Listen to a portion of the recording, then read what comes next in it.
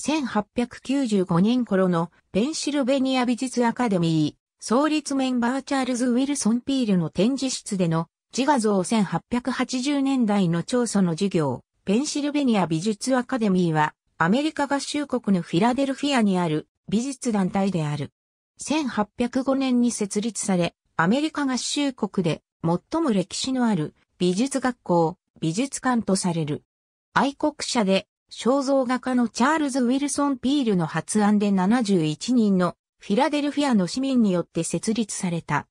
目的はアメリカの美術を発展させるために優れた絵画や彫刻をアメリカ市民に提供することとされ、設立会員のうち芸術家はピールや彫刻家のウィリアム・ラッシュら3人しかいなかった。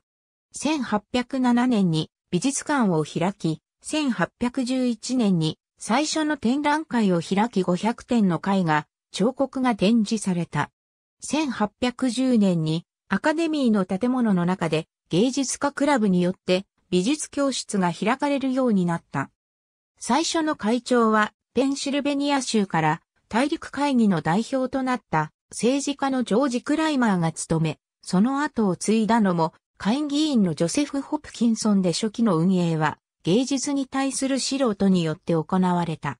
1850年になって、版画家のジョン・サーテインが館長を務めたのが例外であった。美術学校としても初期には公式の教師を置かず、美術家同士で学び合うという形であったが、1876年にフランス出身の画家、クリスチャン主生レが初めて教授として雇用された。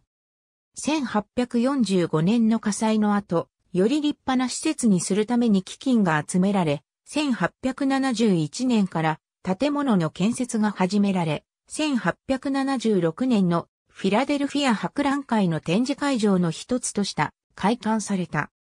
1876年からアカデミーの卒業生で卒業後パリで学んだトマス・エーキンズがアカデミーで教え始め主聖霊の没後、教授職を継いで、1882年からエーキンズが校長となった。エーキンズはアカデミーの教育を革新した。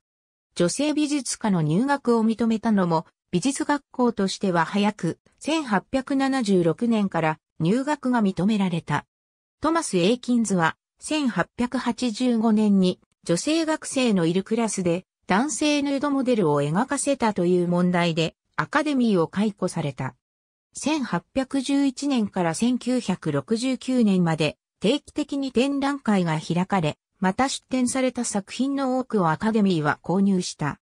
1892年から1905年まで校長を務めたモリスが同時代の画家の作品を集め、美術館として豊富なコレクションが作られた。アカデミーで学んだ画家や絵画部門の教授については、ありがとうございます。